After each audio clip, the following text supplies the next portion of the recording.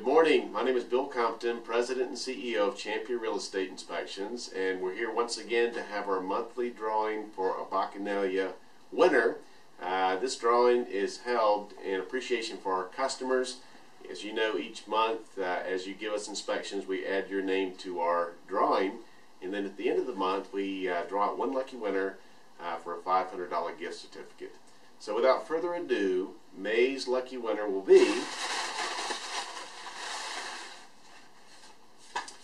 Patty Ash. Congratulations, Patty.